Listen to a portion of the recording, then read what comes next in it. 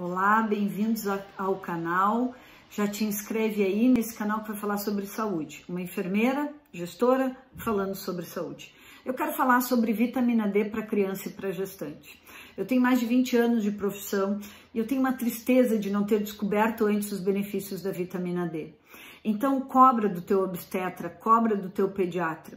Deixa a tua taxa de vitamina D, se tu tá grávida, o mais alta possível.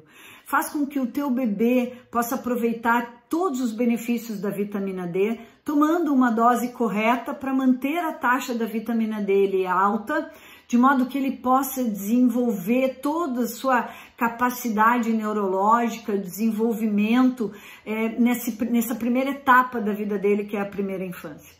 O ideal é que a criança tome 200 unidades de vitamina D, é, que nós estamos falando de nanogramas, então muito cuidado com a farmácia que vai fazer essa dosagem, que ele tome 200 UI, 200 unidades é, conforme o peso dele, então 200 unidades por quilo é, por dia. Tem que fazer uma continha e dar a dose adequada conforme o peso de cada uma das crianças. Lembrando que tem que ter prescrição médica e que tu tem que ter muito cuidado na hora de administrar, mas também tu não te preocupa.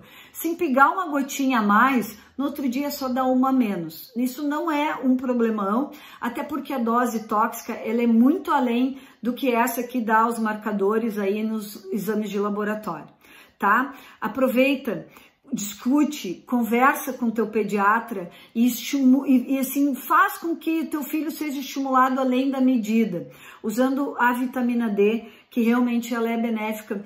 Eu preciso dizer para vocês assim, ó, que cada dia, na minha experiência, eu tenho aprendido com os benefícios da vitamina D.